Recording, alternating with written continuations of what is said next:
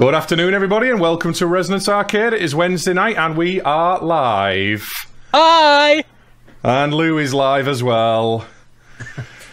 Hello, everybody. Um, it is said Wednesday night, and we're live. We've got uh, our guest with us today, which is Stephen Chapman. He's a 3D artist, and uh, he's going to be chatting with us today about various bits and bobs. It's been a bit of a slow week this week for all of us, um, as per the last three or four weeks. Me, Lou, and Steve haven't played any games at all because we're awful people. Steam library now, trying to remember what I've downloaded. Yeah, it's it's it's atrocious at the moment. But luckily, Stephen, our guest, has been to EGX recently, so which uh, present. yeah, representing, and um, and there's there's a fair amount of news. There's a few rumours that are a, a bit interesting that, that we're going to talk about this week. Uh, hello, pseudo in chat. Hello, uh, Oki, Oki, Oki, Egg Oki. I always get people's names wrong. You know who you know who it is. Anyway, so um, Stephen. I'll let you introduce yourself. Tell everybody what you're about. If you've got any projects on you're working on or anything like that. Awesome. Um, yeah, I'm Stephen. Hello, the one and only. Well, not the only, but still. Um, yeah, I do 3D art and things, um, mainly environment stuff. Um, I do a fair bit of other 2D work and stuff though as well.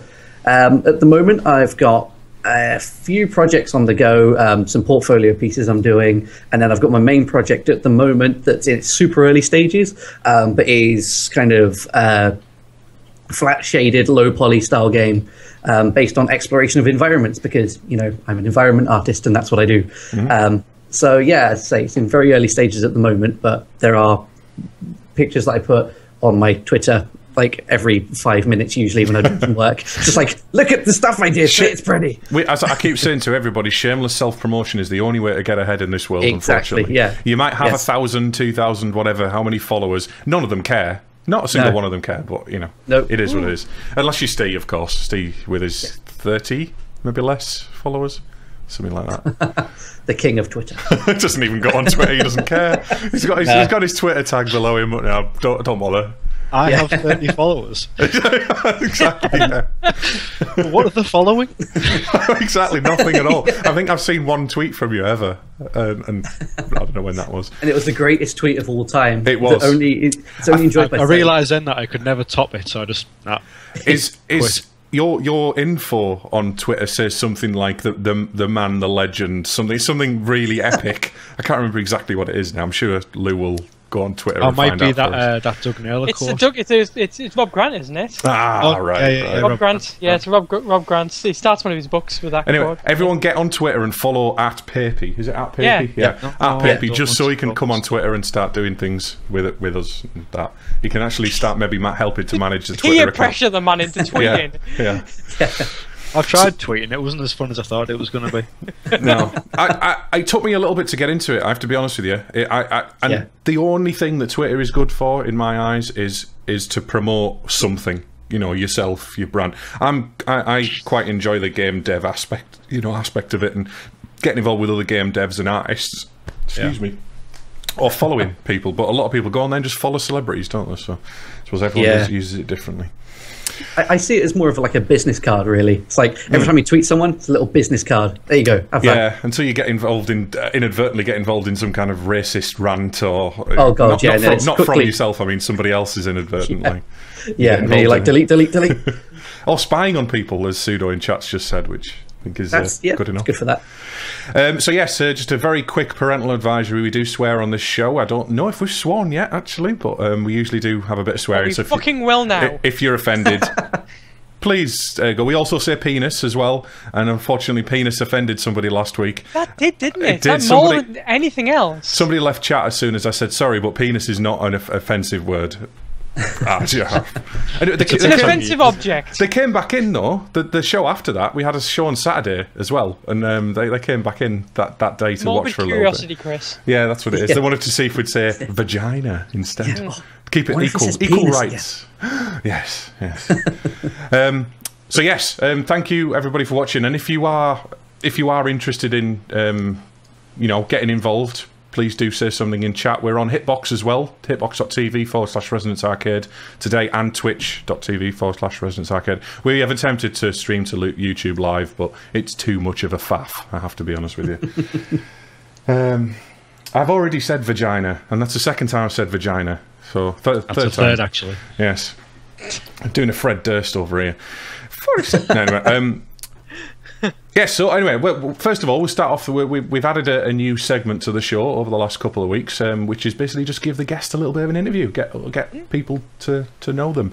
So I'm going to let Lou or Steve choose the first question to ask Stephen from our list, or anything else that you've you might have thought of that's not in our list. Does it? All right. I was going to say. I was going to say something more related to what Stephen actually does, which is environment art. So how did you get into that? Um, I got into environment art. I uh, first off, I had no idea it was what I wanted to do. I started off doing video editing things, and I decided I wanted to try and do like video After Effects um, and kind of post production stuff. Then I decided, well, actually, I want to do CGI, and then I realized I need to learn how to model properly to do that. So I picked up some modeling packages, started playing around, and I was like, I quite like doing environments. And then began working on some kind of smaller projects and then thought, well, hang on, these would be quite good for games as well. And then went along to a local game society, got more involved in games, and then just kind of it, it grew from that. It wasn't really a case of, you know, oh, I want to do environments. It was just a case of through eventually going from video editing and doing post production to I do environment art in games somehow through some weird train of thought. It's kind of how it's kind of how I've got into everything in my life, though. I've I've started out small and then ended up going, oh, I- oh, this is leading to this. Oh, this is leading to Yeah. this. Game dev is kind of a natural uh, extension of all of my other hobbies that I've done over Yeah. many many years. It's quite into usual one. that you haven't come the route of um, like map design or anything like that. I, I think a lot of early people who got into that did it through very simplistic map making tools. I remember Steve and I used to play a lot with um, with the build editor for Duke Nukem Hmm. and, and make all kinds of architectural monstrosities.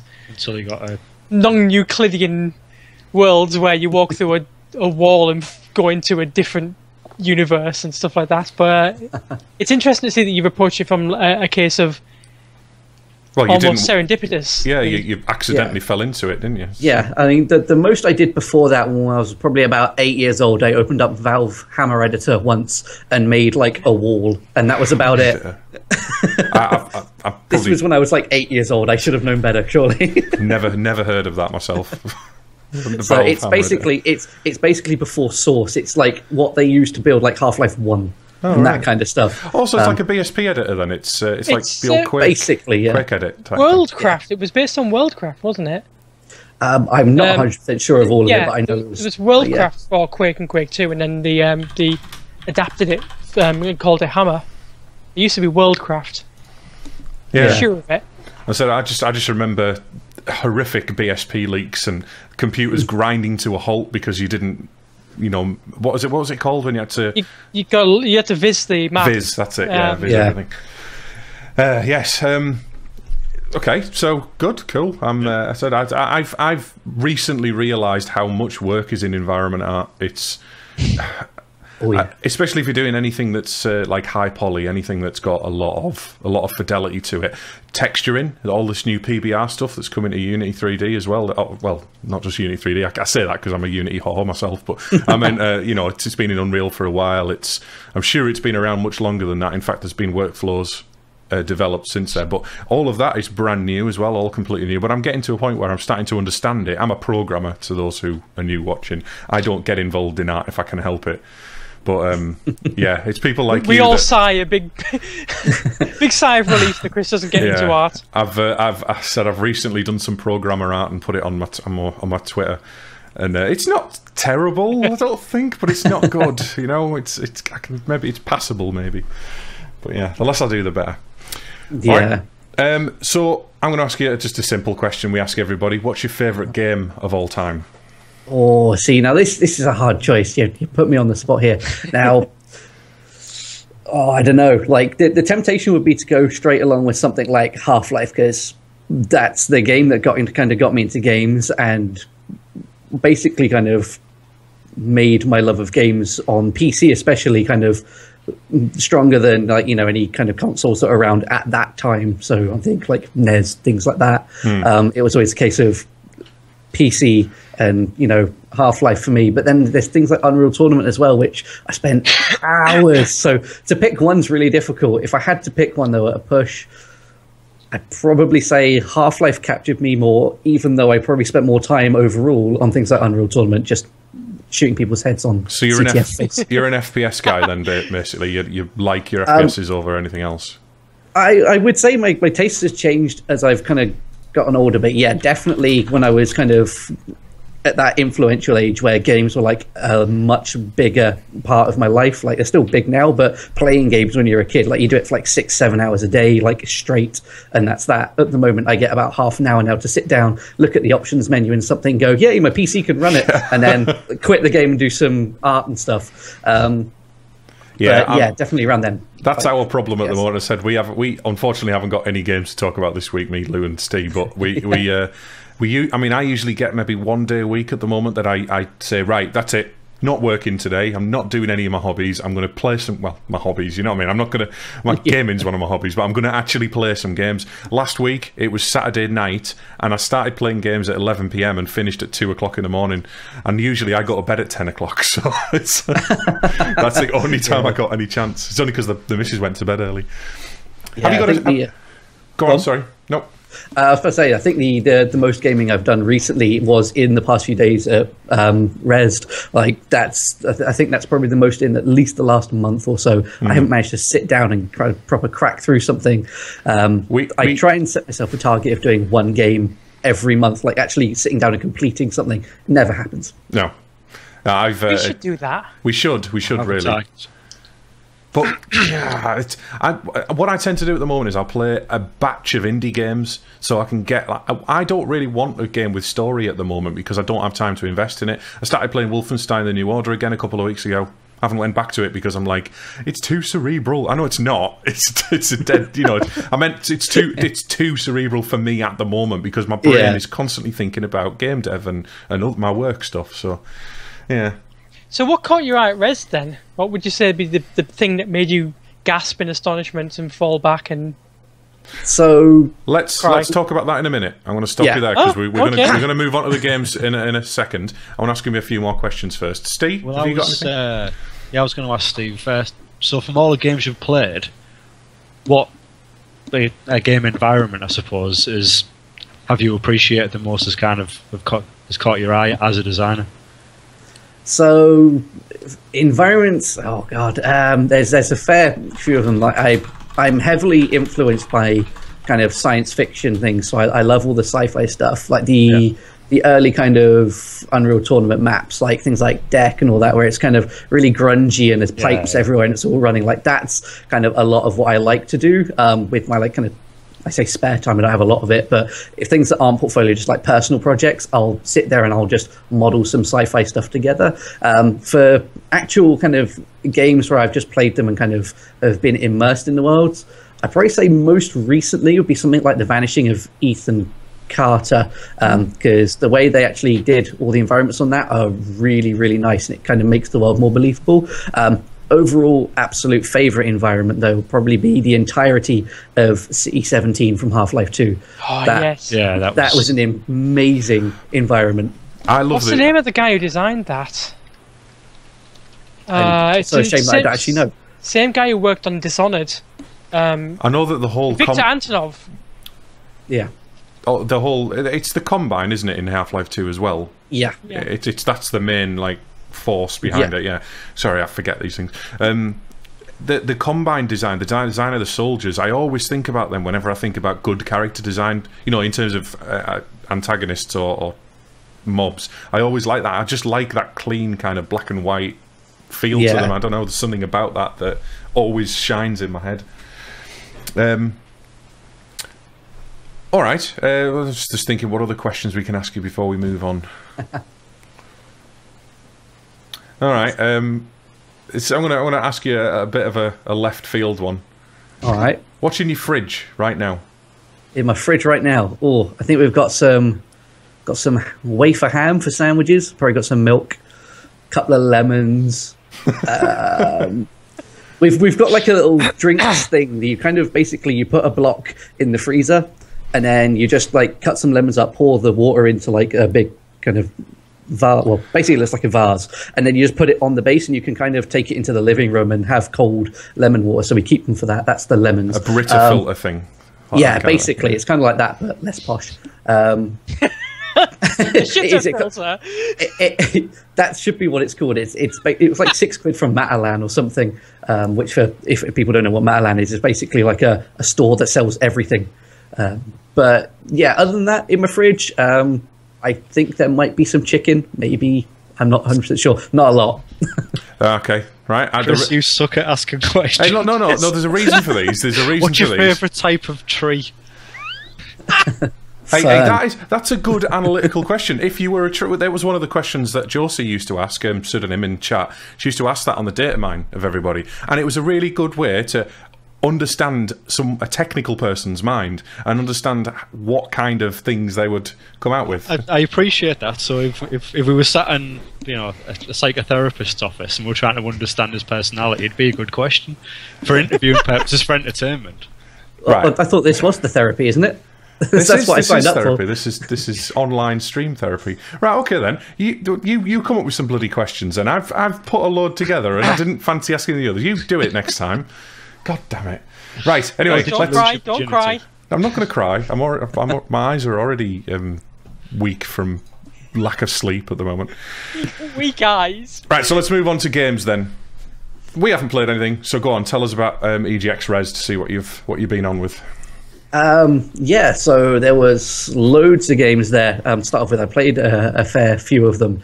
Um, they're kind of the standout kind of games at the moment. Like they're, strong stuff. Most of it came out the left field collection, um, and then there was like a, an inside BAFTA bit as well. I'm not sure whether they were all BAFTA nominated games or whatever, but it was a, a BAFTA bit. Um, anyway, there was some really strong um, games down there. Um, one of my favorites from that, and like this is probably the the best game that I played whilst I was there, and this is going to sound really rubbish when I describe it, but it's basically you've got an Arduino unit, which is kind of like a Raspberry Pi. Um, into that, you have a, a joystick with an accelerometer in it, and that's hooked up to some LEDs. And it's basically a one dimensional dungeon crawler. You pretty much play as a little green LED, and you have to move from one end of the LED strip to the other. And like these little red enemies come at you, and you have to like wobble the accelerometer to like attack them and beat them. it's amazing. It's like one of the best things ever. Like actually, and like Why? It's good. To, it, it sounds like something that I did at school, like put together in the electronics class or something. Yeah, but it but must it- be more than that. Well, it, it's kind of not. I think the thing that's really kind of captivating about it is a the lights. Like there is sound to it as well, but it's like all the lights that are in it, um, and also the fact that it's a game that's not just on a screen. Like the LED strip, like went along a table and up a wall and then over the roof a little bit, and it right, kind of okay. went. So you had to kind of like look around and try and find it. It was really fun. It just kind of captured a bit of that kind of funniness about games again. Like a lot of games are, are tending to be dead serious. Like we're sending this message and doing that. This felt like a game that was just uh yeah, it's just a bit of fun. Yeah. No, going back to roots. it. Yeah, I like. I like Yeah. that. So that was really good. Um, but for some more kind of like, I'll, I'll say gamey games, um, you got things like uh, Maia by Simon Roth and Machine Games Limited. Like that's really good at the moment. They're still developing it, but that was really strong. Going for a long time, Maia, now, isn't it? I, fo- I It followed has that been, yeah. uh, very early on, and it was I was always impressed by it.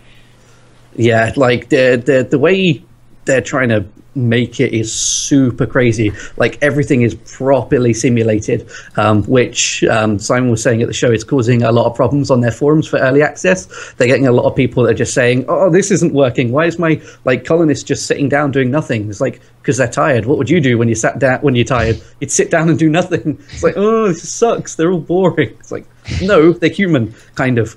Um, so yeah, it's causing some quirks. Um, but there was a whole kind of room dedicated to uh, ID at Xbox, and they had some good games in there. I didn't play a lot of them, um, but I got to have a look at the Swindle. Um, oh, I like the look of that. That looks cool. Yeah. What, Um, what- so- how did it play? Because I mean, I've seen lots of gifs of it and lots of videos, but I've, I've not played it yet. Can you Obviously. describe it first of all for us? Because I've not heard of this. uh, the, the Swindle is a I think it's steampunk. Is it steampunk or cyberpunk? I wouldn't- steampunk, I'd say more. Steampunk, the style yeah. looks more steampunk, but it's a it's a two D Yeah. platformer. Yeah, 2D stealth platformer. Um, it's made by Dan Marshall of Size 5 Games, um, so you can find it all there. Um, it played pretty nice. Um, it felt responsive, which I think is, good for a stealth game. Like when you when you're trying to do something, you need to deliberately be able to do it, and kind of timing is key.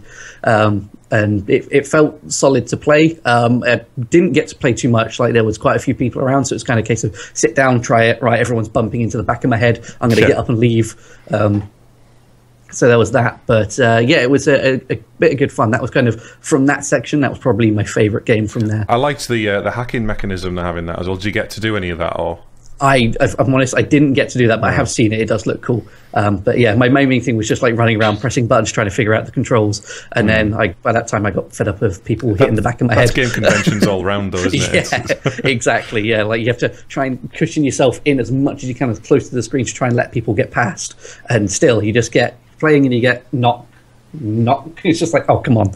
Um, How can I, just a quick question then? How um, uh, he's he's a fairly um, you know well known indie yeah. developer.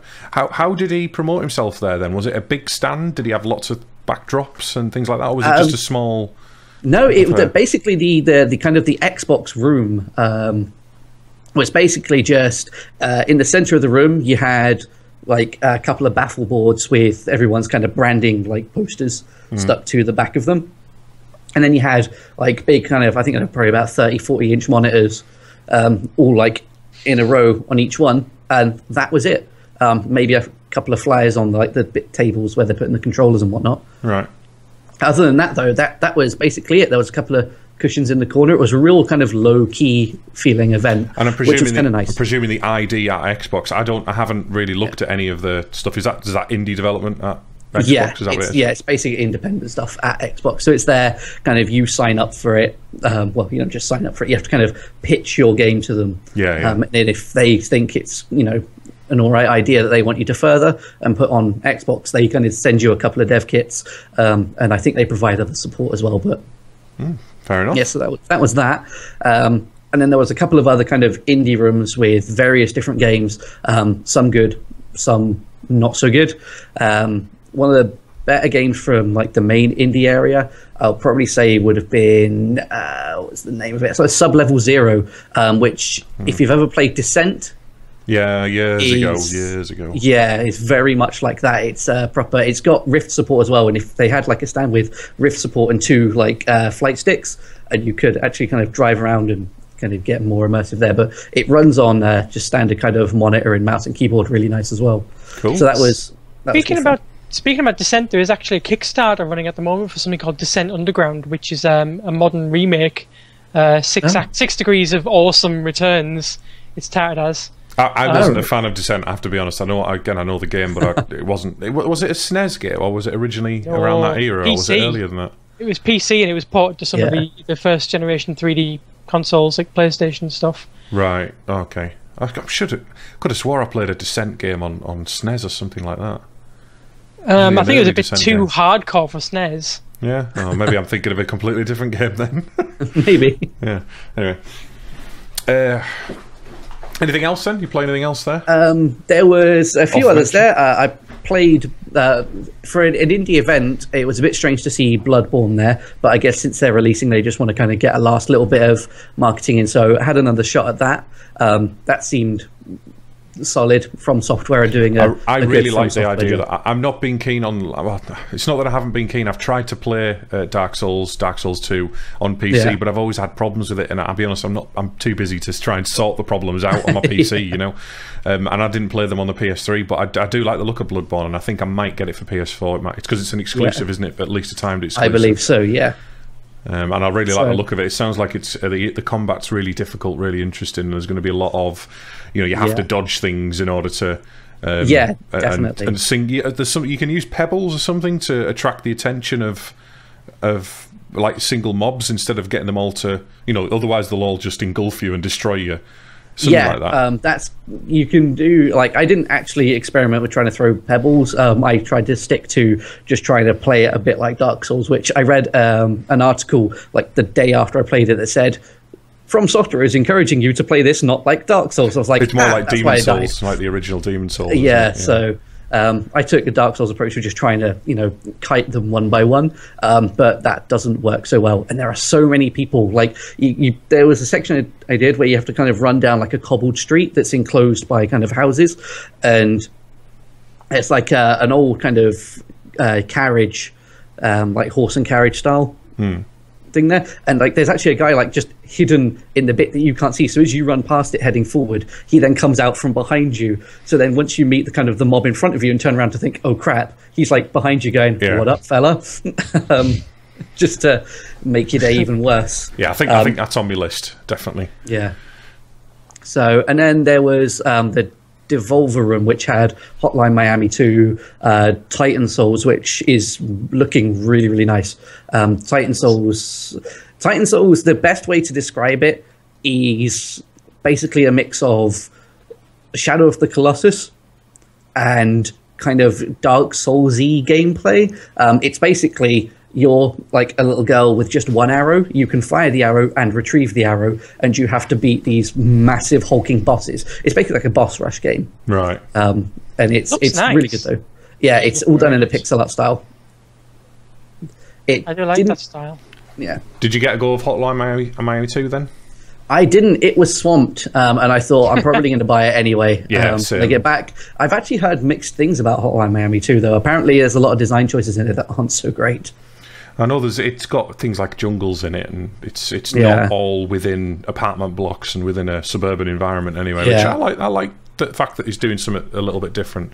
But there was also the argument that it was almost going to be DLC, wasn't it? It, it, it nearly. Oh, it- yeah. It, it, it you know it ended up becoming a game because the publisher well because he wanted to do it that way and i think there was a few things that he couldn't fit into the original game i don't know much Yeah. more about it than that i haven't played it yet but i think i will get it Yeah, it's definitely on my list of uh, games to get. I've got a, a list of them there. I've just actually on the uh, the Steam Cyberpunk sale. Um, just bought um, System Shock Two. Good I lad. bought Transistor, and I bought. I can't remember the name of it. It's the, it's the I have. Like, I need to scream, but I have no mouth, or something like that. Um, Yeah, I have no mouth, but I must scream. I think it is. That's the one, yeah. yeah, like I knew it was something along those lines. I've uh, I've got Transistor on my wish list as well. I'm waiting for the right time to get it and play it. But Yeah. I played Bastion and um, I played it all the way through because I'd started it and I was like, I've got to finish it. But I found it to be a bit boring. Bastion, great design, great look, Yeah, but I didn't enjoy the game that much, and and the, it was quite predictable the upgrade um, kind of system in it, and but it was an indie game again, so Yeah, I did find that with Bastion actually. Once I got kind of, I'd done the first area, thinking, yeah, I've done like loads, and then it introduced me to the the, the kind of the next bits, and I was like, "Ugh, I have to go through that kind of again. yeah, that's exactly Like- what I was thinking, and yeah, I, I did, kind of I- felt a bit fatigued by like kind of because it they like I think it would have been better if they kept like trickling kind of levels to you rather than showing you your level path because I thought Christ that's hours. Oh, maybe I'll come back I- to it later. I didn't feel like I had there was enough transparency, and I felt like I was kind of move. I, I didn't feel as if I I was finishing qu- quick enough. It- As as you said, I felt fatigued by the end of the game as well. I felt like it needed Yeah. needed to finish quicker earlier. Yeah. Excuse me, just went dry. Uh, All right, cool. Anything else I've mentioned there then that you? Um, they had Guild Wars 2 um, Heart of Thorns expansion, but the queue for it was like four and a half hours at all times. Are you Uh, an so MMO I guy did then? Do you enjoy your? Um, I, I, I dabble in them, which is a really strange thing to say because most people wouldn't dabble in something that A, usually costs a subscription, or B, takes a lot of time to actually properly get into. Um, but I like to kind of dabble in them. Like, I'll go and play a little bit of the secret world and I'll kind of do a few missions and enjoy that world. And then I'll maybe play WoW with some friends. And I want to try Guild Wars. I think I'm waiting for one to kind of capture me so much that I must do nothing else but play it. Um, and until then, I just kind of dabble and mix well, around. WoW was the last one to do that for me. I Yeah. haven't played a game. I, I, you know, I'm clean, as, as someone said last week. I'm, I'm, I'm WoW clean now, and um, I won't ever go back to it. But I am waiting for. I'm hoping it won't disappoint, but I'm waiting for Deus Ex Universe. I'm a, I'm a bit of a Deus Ex fanboy, and I really want that to be awesome. It's Yeah, pro- I know, be- Lou. It's probably not going to be, but Sorry. I know. We can dream, I, we can I'm, dream. I'm, I'm an optimist, though. I'm, I'm an optimist in that it's going, it's going to be brilliant. All right, then. Let's move on. Let's move on to the next section. Awesome. Lou's favourite part. It is the way of the exploding list.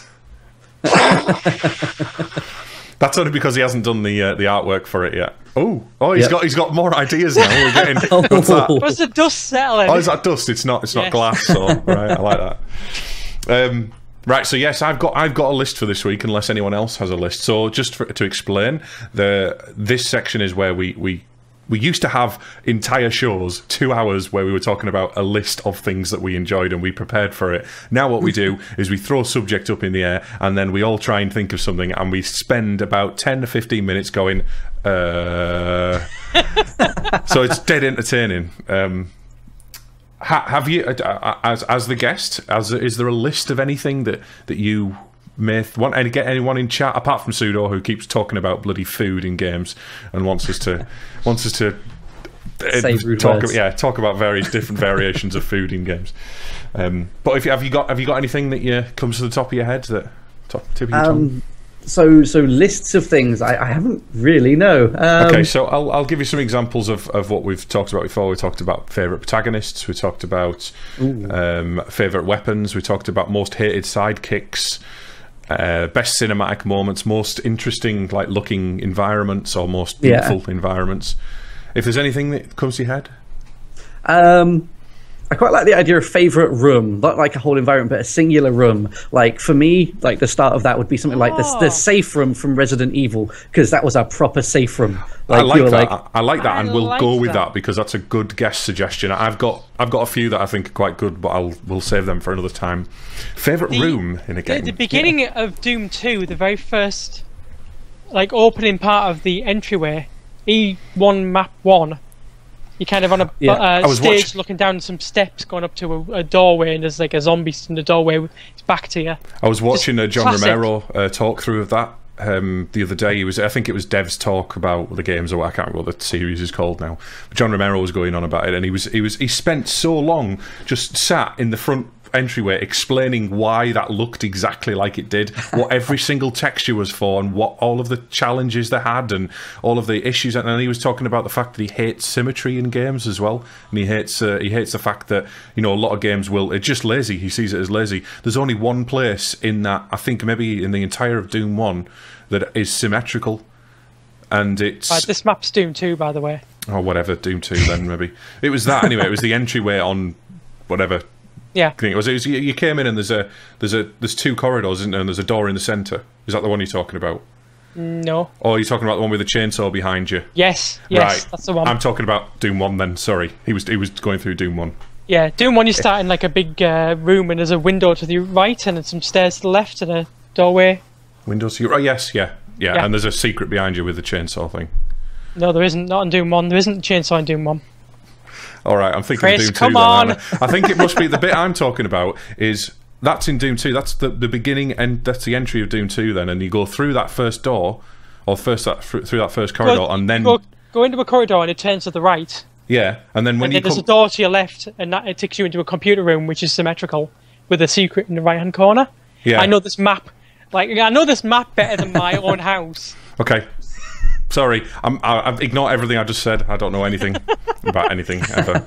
But yeah, that room is very iconic. I, I don't know if it's just because of the fact that you spend so many, so long in there, because that's where you always start when you play Doom 2. But there is something about those opening rooms that is something really cool about them. Well, I'm going to throw into the mix the Mega Health Room in uh, the Edge DM1 Quake 2. Yeah, That's an lots of room. iconic room because there's so many trick jumps in there. There's so much, so much time has been spent battling over the mega health, battling over control points because that's basically That the- the control point of yeah. the map. You you control that room. You control everything. You Yeah. are the boss. But it's also quite easy when you lose control of that room for to get swarmed from multiple directions and oh god! Every time I talk about Quake Two, I want to play it again. Don't ask what they were. Don't ask what they were. That I just picked up. Dead jellyfish. yeah. Um, other other rooms then that are, that are interesting. I Oh, can't actually think of any more. Mine's completely blank. This is what happens because we don't prepare for this. We throw it on each other. We spend uh, like 15 minutes explaining why we can't explain, talking over each other. So Come I, on, I've chat. got another one. Go I've on. got another one that I like. Um, the starting room in Portal One with the countdown timer, where you've got GLaDOS just introducing you, and kind of you wake up, and it's all of that, and you're kind of looking around. Yeah, Glass cell. like yeah, you're basically in a glass no, cell. that's two. Portal two, isn't it? Is that? I thought it was in No, one that Portal you 2 start. is where you start off in that dodgy hotel. Oh, it's not a glass Yeah. cell, is it? You fall into the Yeah. glass cell, don't you? Yeah. That's Yeah. right. Yeah, I can't remember um, the beginning of Portal One. I've only played it through once. You know, I played it Yeah, on the 360 Orange box, and I've never played it on PC. Yeah. You basically kind of. I think it fades in from black, and you're just in that cell, and there's like a 60 second or so countdown timer above like a part of the wall, and yeah, you can just mess around in that room. But that room's the first kind of point where you think. All right, what the hell is this? And you got the little radio playing in the toilet, and my first reaction was, "I'm going to throw the radio in the toilet." Um, and then yeah like kind of i just i like that for the fact that it's kind of a start of your journey where a game goes right you've got this brand new game you're about to start it wait a minute like like, that, yeah. I can't. I can't Ah, okay. remember that myself, but yeah, that's that's good. the test chamber in Half Life.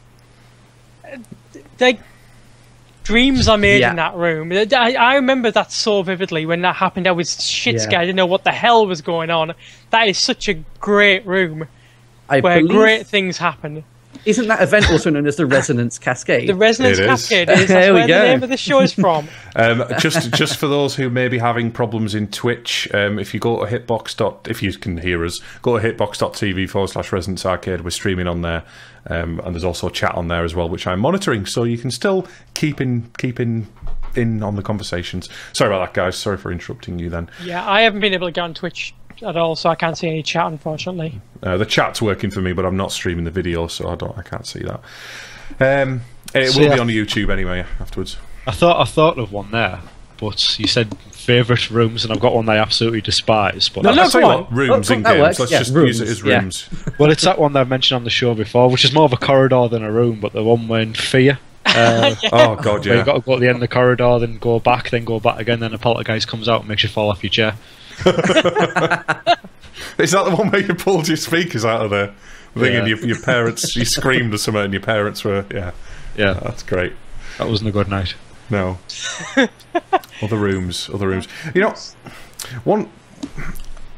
This isn't particularly. It's it's something that sticks in my mind. Um, there's a room in um, Silent Hill Frozen Memories. In fact, there's a lot of rooms in Silent Hill Frozen Memories where you go in the room and it's different every time you play the game. It's it's the same puzzles in slightly different configurations, but the room is totally cha- has totally changed, and it all depends on what you selected or what you what questions you've answered with a psychologist at the very beginning of the game. You have a little psychologist session, and you can you, you have to do like proper well not proper, but you have to do um, uh, you have to like paint like draw a house and and and color it in. And then later on in the game when you come to the house it's colored in roughly how you colored it and even if you That's were really cool. rubbish at it. And it's really cool. It's a really eerie story because there's it's just run away. You can't there's no weapons or anything like that. It's not even like a, um, alan wake. It's got the same kind of feel to alan wake in that you, you've, to run. That's the main premise of the game. But um, you have a flashlight, but it doesn't do anything to the enemies. You just have to run like fuck every time that the world starts changing. And I, so many times I, pl- I played it with my missus, and so many times she just kind of threw the Wiimote at me because we played it on the Wii, and uh, and it was it, it, it was crazy. It's good. I really liked that game for for what it was, and considering it didn't look brilliant. I think it was really cool, and but the, I liked the fact that when you went in these rooms, the, even some of the puzzles were different as well. I don't know. It's it's hard to explain. You have to play it, I think, to understand. And play it a few Yeah. play it a few times to understand what I'm talking about. Um, other rooms then. Other rooms. Let's give this another five minutes at the most, eh? No, there isn't any other rooms I've There thought isn't any other rooms at all. it's like there are no other rooms in games period that's it it's just those three or four rooms Well, I That's mean, I it. would I would throw Antechamber, the the intro room, into that because that is a totally different type of room. Definitely yeah The you know yeah, the fact that, that he wanted to Bruce uh, Alexander Bruce Alexander Yeah. Bruce that's his name. Um, he he wanted to have a game that, that kind of challenged everything about games, and even the the menu was different. Even the fact that when you pressed escape when you were playing the game, it took you back to the intro room. And that was the menu, and then you could go back to any part of the well, any part that you'd already visited, and then redo Yeah. puzzles. Uh, I liked that. I liked that that particular. Yeah, that's pretty cool. Uh, I'm just trying to think of other kind of specific I'm trying to think of like you know of- hub. It's usually hub areas, isn't it? So if you think Yeah. about I was yeah, I was just thinking about Hexen actually. I, I really like the first proper level in Hexen, not the the intro level, but the first hub level. And the center of that that level is like kind of a courtyard with some rooms off to the side, and you keep kind of going to to different parts of the the world. That well, the the kind of the, the the levels off the hub, and as you do things like the hub changes, so stairs will appear and walls will move and things like that. It's really cool, actually. You keep coming back into something new in there. It's a bit like what you've just been saying about that room or that puzzle that's changing. Um, it's nice that it, it changes often enough that it doesn't get boring. It's like, oh wow, I wonder what's happened now. When you go back and it's totally changed again. It's really cool, that. and Hexen does that very well. So I think uh, probably all all four of us are probably thinking about 3D rooms because when you say room, you think of the room Yeah. that you're in. So what about 2D I thought games? a couple of 2D ones, but I don't know. So I'm thinking like the, the, the room in Braid, the, the the house where you you basically run you know between all the doors. Oh right, yeah, It's where a the rooms central are actually hub. the levels. Yeah, but it's still not it's not good enough. That it's not good enough. See, Hmm. The um, It's a beard stroking moment. the boss room in Smash TV when you first meet Mutoid Man, and there's a massive. You, you basically every room looks exactly the same. You've got this square room with with four doors at the north, south, east, and west. You come into this last room on the first level, and it's basically all the doors are locked, and there's a massive hole in the wall. And think, what the hell? This is a bit different. And there's no enemies. Then suddenly, Mutoid Man, which is basically a huge torso on tank tracks, comes through the door and starts kicking the shit out of the room with you girl. in it. That's a pretty Uh, the Hyper Emerald room in the Sonic series, only because I could do it and Lew couldn't. Hyper. I don't even remember that room. Uh, uh, you had to play with the Sonic and Knuckles add-on cartridge. Well, I never even owned that game, so that's probably why I couldn't do it. No, you tried to. Well, Max before. So what about uh, we've got to say the coin rooms, the um, the, the pipe rooms in, in the original Mario. Then got to add that in there. I know it's just it's an iconic room more than anything, isn't it? It's not very good. or yeah, interesting. like yeah, it's yeah, it's one of those that you know I think everyone's seen that room. Um, just having a look through my Steam list here, actually trying to think of some kind of other ones. I think one of the main things that's maybe not so much like I don't know if you'd call it mainly a room, but probably where people spent quite a bit of time would be places like the Golden Saucer in Final Fantasy VII. Like there's mm. there's you know the the sound of it, the actual kind of the busy feeling atmosphere, all that. People spent a lot of time there, or you know That's your house in Pokemon. no, that's a that's a fun park. That's a theme park. That's an Exactly. I, entire- I, I, would say it's not quite a room. As a room for that game, though, the um, the library under the um, Shinra Mansion in Nibelheim, that's a Yes. really really cool room where there's a lot of exposition happens. And when you walk up to one of the uh, tanks and you see there's uh, there's fingernail scratches in the tank that say stuff. That's pretty cool. That's God, I, like could a lot talk of cool stuff happens there. I could talk about rooms in all kinds of games. I'm just looking at my, my game list, and it's like I've got Monkey Island on here, and there's so many rooms in that that are cool. But I'm trying to pick one Yeah, like a standout. Yeah, room, that yeah. I, that I spent ages doing a particular puzzle in, or or it was a really cool puzzle, or something like that. You know. Yeah.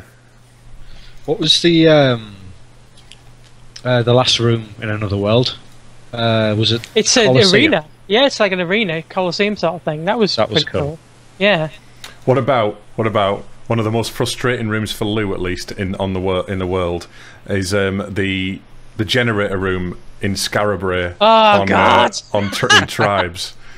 Uh, the amount of times that I spent in there, just uh, uh, in fact, they just explored all of the generators, and Lew would be sat there, and I- I'd love seeing it as well because I'd be I'd be invisible, running around in my infiltrator uniform, playing Tribes Renegades, and uh, I'd stick all my satchel charges on, run off, set them off, and I'd just be sat there, and he'd be like, "For fuck's sake! For fuck's sake!"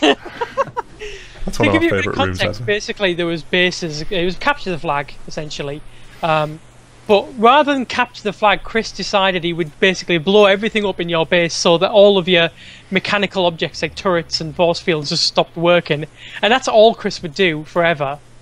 Oh, then I'd get the flag and cap it a few times while you were repairing all of that stuff. But It was ridiculous. I loved it. I loved it. What was uh, that other room in another world? The one where you could go up the top and shoot the uh, the big glass ball that was hanging. and if you timed it just right, you could see a little reflection walking under. You could knock out the Oh yeah, guard. yeah, yeah. No, you were crawling through a pipe, weren't you? And you could see Yeah. the guards and the reflection of the metal ball. Can't and if remember. shot it down and hit him on the hedge, you, you knocked him out, and that made that next portion of the game a little bit easier. I like that because I think it was one of the first times I actually saw like something dynamic in the environment that could actually like something you didn't have to do but could still affect the outcome. Yeah, it was a very game- gameplay interesting itself. puzzle, that wasn't it? The bell lift in Bioshock is a good little room. That was a that, original. that's- yeah, well, the original is obviously the first introduction to. Is that the way you go World. down? You go down through the, the lighthouse into the. Yeah. And no, yeah, you Uh, go through the lighthouse and you go basically through the entire of Rapture, and it kind of you know you've you've got uh, is it what's his name Ryan, John Ryan, Andrew Ryan. Andrew Ryan, Andrew Ryan. um, speaking to you over the over the intercom, and he's, he's not not speaking at you. He's doing an introduction of Rapture, and it's just a really cool cinematic moment where, but you're in one room for the entire duration. Yeah, well, if you say that, I'd also say the the um, train from the start of Half Life You because can't that, say Half Life again. can't You've say- said I can- Half Life too many times. No, and Every the time you say is Half-Life. itself an interesting room. The environment outside of the carriage is interesting. well, that's the same train with itself is Chris's. shit. That's the same with Chris's though. I, I was I, yeah. So shut up. Yeah. Um, however, Um, every time we say Half Life, my half, my personal Half Life halves. So stop All right, it. Half Life, Half Life, Half Life. But I'll, And Half-Life I'll never 3 die gets though. delayed a year.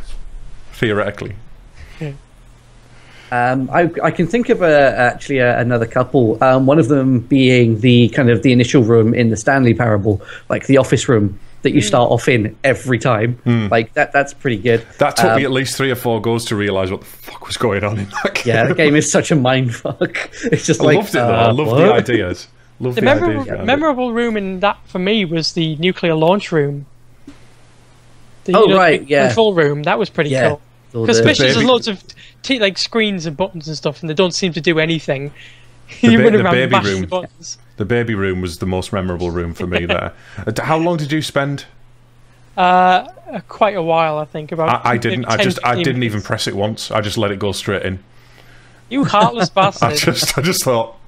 This is going to be one of them that's going to go on. But if you do it for four hours, apparently, you actually beat that particular task, or you get an achievement for it. But who's going to? I mean, there's only one guy on the planet I think who's done it. masochistic. Yeah, someone who's put it up on YouTube as well. All four hours of it.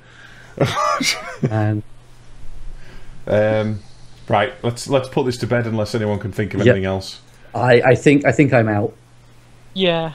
Just just scanning the last few of my games to see if I can uh, come up with anything. Oh, I've got too many games to scan. Right, bugger it. Let's move on. Yep. Right, so on to games. Uh, sorry, on to games. On to gaming news, rumours, new releases, anything that's uh, caught our attention or caught my attention because nobody else seems to care about uh, giving us news and stuff. First of all, Oculus is potentially not being released this year. I feel very weird about Oculus at the moment because I've not u- no, I've not used my Rift in a little while, and in the little while that I've not used it, some really really big advances have been made. Um, you know, the the Vive or Vive um, Valve thing is getting a lot of really good press. There's people talking about it, like skeptics of VR saying this this is it, this is where it crosses the line into something which is viable. Um, so it's put me in a position where I'm I'm suddenly the owner of obsolete tech. No, you are, yeah, definitely, and you will be even if you buy the quickly. consumer one that comes out. Yeah. Yeah. That's the thing. This is why I'm. I I mean, this is why I'm not an early adopter because I, although I, what I tend to do when I buy something is I'll buy it, I'll use it to death, and then I'll put it aside and I'll never sell it, and it'll just sit there and pile up and pile up and pile up. Hence the big pile of rubbish that I've got over to my right. Um, I, I, I don't know about Oculus. I don't know about VR in general yet. I mean, I'm So you're still a skeptic of VR, even though there's lots and lots going on. I'm a skeptic of the first consumer release. I think. I think after that, and when it starts becoming mature, and they get they get mass consumer feedback from it, not just select few developers, and not just people who are developing games for them, and and extreme enthusiasts. I think when it when it's when it's big, then I'll start maybe believing it a bit more and Glory supporter.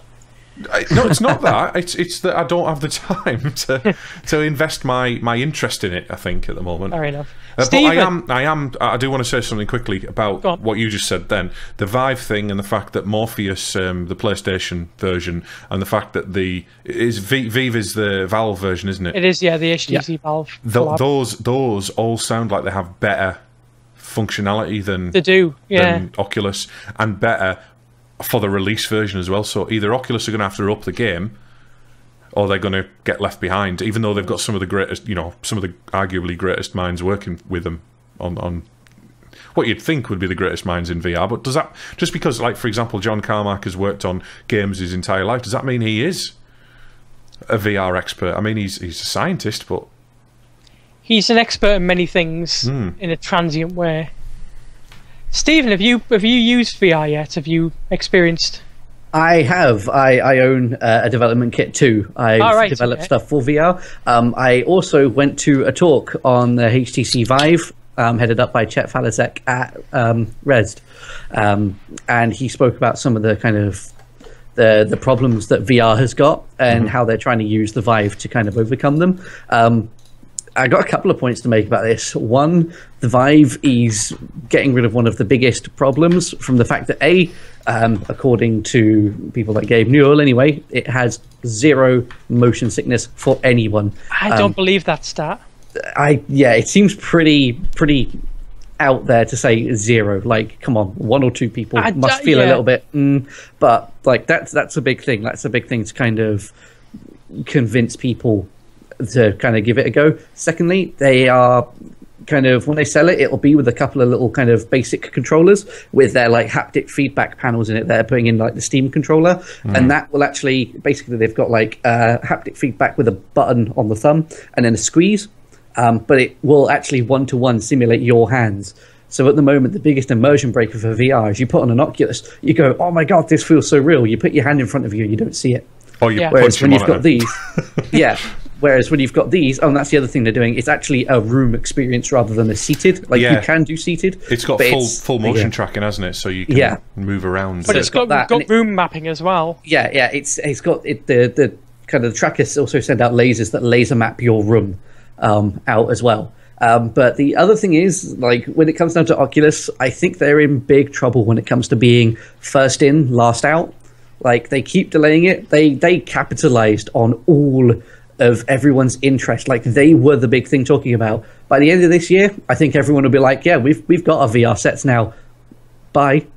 You know, like most people will probably look to spend about the same they would on a console, if not a little bit more for a specialist piece of kit, which I think is what the Vive's probably going to come out as. I think it will come out as about two hundred to three hundred quid.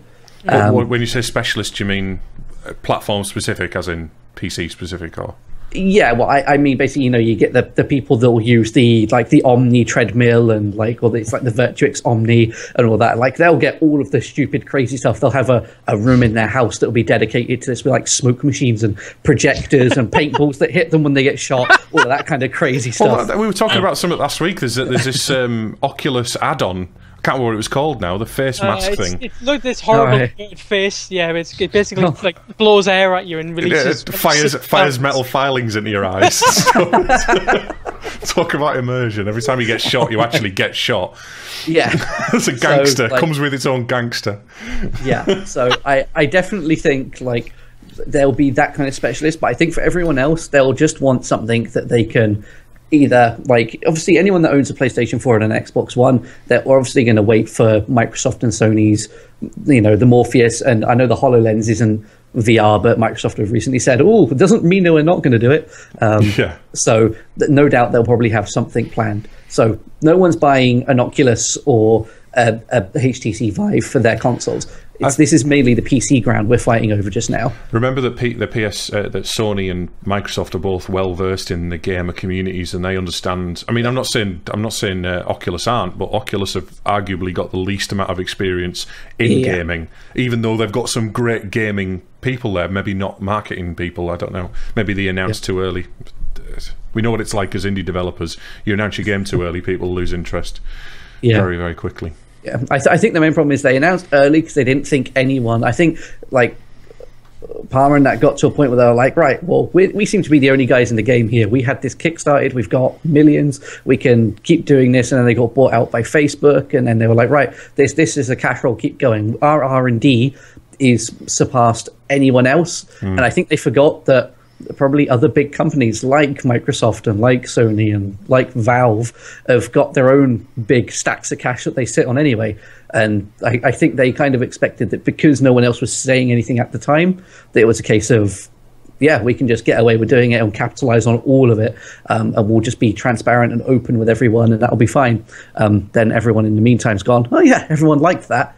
Here's 600 million or whatever. Go make our version of it with HTC, that kind of thing.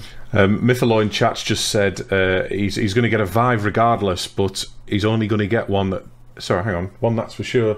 That, it doesn't make sense. He's going to get a Vive, he says, but he was talking about holodeck experience. So you know the fact you can move around. However, Yeah. how big is your room? I mean, we talked about this last week. Um, Yeah. in England, we don't have that much room in our in our houses, Yeah. so you need a specialist room for it. And and even then, there's the danger of running into a wall. And but then there's the sensors, isn't there? And the Yeah, Yeah, it, it- haptic it- it lays when you get near a, yeah, it tells you when you get near a wall. It shows you like a grid overlay.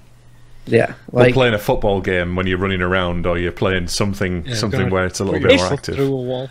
If you if you're sad enough to play a football game in VR, when you can just go to a What local sad enough. Don't, don't even say that. You can't call geeks sad. You are a sad geek. We're all sad geeks. at least at least I'm playing something in games which is not really doable in real life. Whereas it's pretty easy to go and have a game of football. You know what? You've got a good. I didn't even listen to your point. Then you've got a good. so yeah. so, so, yeah. yeah. Unless you're really, really bad at football, in which case playing a computer game might be your only outlet. It's the future. I'm telling you. It's the future. It's all, everything is going to be online eventually, especially with the advent of virtual reality. Soon as, soon as you can plug yourself into it and you get a better than life chip in your brain, that's it. Yeah. Game over. Game over for for me. humanity. Not Uh, for me. I'm not getting involved with that shit. I, I'm happy with my keyboard and my mouse and me going outside to get food and stuff. Yeah, like I think speaking of getting food, like that's a, a big thing. Like so many shops at the moment, like you know, you got all the big supermarkets do their online shops. I think as soon as VR becomes standard commonplace, like every home at the moment has a TV, a computer, and probably one or another console of some kind. Eventually, every home will have a VR unit. So oh. why not have shops that you can just go and pick up your milk, That's perfect. and, that, and it gets that, delivered to your door. That, that, you know what? That's a brilliant idea because VR no, it's shopping. not. No, it bloody well is because you know what? I hate, I hate going to Tesco. Other Yeah, supermarkets are available. So why I- would you want to sit there with a VR headset and go through a virtual Because- shop? Why not just because have their a- website I is have to confusing as fuck. "Oh, One of them, one of them, one of them, one of them, one of them. No, no, order- you'd go up to them you pick them up and you put them in your trolley or whatever. You do your scan and You shop. don't do that surely if you were enjoying the experience. Right. Right, let me let me explain a problem that I have with shopping. A couple of problems. One, I go out and I catch a cold nearly every time I go to Tesco because there's people coughing on you and bud barging into you, and especially when it's busy, it's bloody annoying. I hate it. Right, Yeah, dirty humans. dirty, dirty humans. Wash yourselves more often, you bastards. Um, and and I mean that's my, my main problem with it, and it's obviously the time as well that it takes. Now, I don't like shopping online. I don't like going to the, the you know the Tesco checkouts because they will automatically choose different foods for you if they don't have them in stock. I'd rather just not get them foods, or I'd, ra- I'm sure there's options for that and all that bollocks. But uh, you know, it's it's a faff. But I'd, I'd still I want to see my food. I want to still pick it. But you won't be seeing it. You'll be seeing but a you if graphical it was a virtual- representation of it. If it was I'm virtual, if it was a virtual world that was a real world, or maybe you had It's a not the surrogate same. or something. They're going to map every individual piece of broccoli. Put it there, so pick it up and go, "Oh yes, I want this particular piece but- of broccoli in my virtual world." There- there is They a- will do. to there is- such." Will do eventually. Yeah, there is a counter argument to it. Many times when I've done kind of, I, I once a month I do a big shop online of just, you know, I'll go online, I'll go through Asda or Tesco's horrendously bad website trying to find all the pieces of food I need, and I'll look at a bag of, let's say, like chicken legs or something, and it'll be like, there's a kilogram, right? Kilogram of chicken legs. That's like what six or seven maybe, and I get the bag and it's like too big to fit in my freezer, and there's about twenty in there, and I'm like, ah shit. If I'd seen this, I wouldn't have bought it. Um, like there's that's things like that. Well, they've got 3D printing. Soon you'll be able to 3D print food. Don't worry about Yeah, you it. can just print I've your own chicken. got Why not? Yeah, they've got 3D printers that print uh, pancakes. print They printed soup. the world's smallest drill recently, It's like 0.75 of a millimeter or something, and it works. Why would you use that? What? What for? For dr- If you, It's a it's, it's one of those little, you know, it's one of drilling those little, those little you know, toy skateboards, so you can drill. I don't know. or maybe for a very small construction worker. Um, I just want to say out there again, just in case anybody's still having problems with Twitch, it seems that there are issues. Um, go to hitbox.tv forward slash Resonance Arcade and you can watch us on there. It's also slightly lower latency as well. Um, right, let's move on. Anyway, that's enough talking about virtual reality. We could probably every time we get on VR, we talk about it for ages, and I say no, no, no, no, no, and Lew You- goes you yeah, yeah, yeah, yeah, and you go into your yeah, you're gonna plug things in your head, and soon you'll be a zombie slave yeah, yeah. to the machine. Back in my day, we used to we used to play games with mouse and keyboard. We're gonna be those old people. We are. That is We that are- is our you, generation. you can't talk. You're already, you're already, you're a youngling. You are, you aren't you? Yeah, I know. Yeah, Um, yeah, I'm comparison to 24. us anyway. Yeah, 24. We're, we're, I've just turned 33, I think, this, this month. Something like that. right, um, not strictly gaming related, but Gamergate related, and we don't generally Oh, talk about Everybody's Gamergate favourite gate. too much. But um, Moot has left 4chan over Gamergate. I thought it was quite an interesting thing to If anyone's followed 4chan recently, that is just a cesspool of Oh, it's- racism it's and been cesspool forever. It's Yeah, been a it is. cesspool forever. So um, I can see that the Gamergate was kind of the, the straw that broke the camel's back, and we're talking about a fucking big load of straws here. Oh yeah, definitely. But Um, it's still it's still a interesting because he's been there forever. He's been there through lots of racism, lots of controversial pictures, lots of controversial everything. He's he's had all kind he's had lawsuits, all kinds of things, but he's finally left because of Gamergate. He said he's been thinking about it for a while. I'm not a 4chan goer. I don't. I've never followed it. It's not my Possibly thing. Gamergate and the fact that he's not made any money out of it. What at all ever? It's fund- fundamentally impossible to make money from because no sponsor would ever touch it with a. and nobody with with a God, yeah. Oh, God, An I was infinitely gonna say long something that would get me probably get me hacked or DDoSed, but let's not say that. Eh? And I just thought it was Um, something worth mentioning. I don't know if anyone else has opinions on it. My only opinion of it is that 4chan is, as you said, a, a cesspool for this kind of thing. Like, Hive of scum and villainy. yeah, like if if this is what broke him, then great. All that's really told us is that he was okay with all the other stuff. Maybe I don't know. Like ah, loads of racism. Yeah, great. Loads of other random shit. I don't follow 4chan myself, but I, I know its reputation. Yeah. Like yeah, that's all fine. Uh, actually, this this whole gaming thing that's that's my line later. You know, it's like it's like what what. What a time to, to leave! Just you know, it's like, oh yeah, no, I've had a sudden change of heart after. Well, how many years is it? Like he's been there like forever, basically. He made it. Yeah, he invented started with oh yeah, sorry, yeah. So Well, yeah, it- so I, you know, I just I, I don't even know what Gamergate is anymore. I have to be honest with you. I, I, I've never really been that interested that's in it, and that's because they don't even really know what it is, and I'm I'm going to get attacked here and screw it. It'll get One, me more Twitter one day, we, one day Um, we'll get a Gamergator on and they can explain it to us. But then again, Oh, I bet we get a second Gamergator on and they'd explain it differently. So Yeah, exactly. Like half of them don't know what it is. They're like a dog chasing their own tail. yeah, Like, what would they do if they caught it? It's like, okay, we give you everything you want. Um, it's like, yeah, it just doesn't. Nah, like it's it's the gaming is just a, a big waste of time. The the only thing that I like about it is the fact that it's put it into the spotlight that things do need to change and that that kind of behavior isn't acceptable. Like it's made a lot of people that otherwise would have just brushed it off as ah, you get that in every industry. Like it's realized, oh man, this is massive in this industry. You've just Let's said in, a- in a rid of it." sentence basically what I, my feeling is on it. It's it is nice that it is highlighting the issues, but it's still they're doing it in the wrong way. You know, Yeah. they're doing it and they're, they're flipping it on its head and making it even worse. Yeah, but let's exactly. move on. We don't like to get Yeah. too political on Oh, no. Arcade.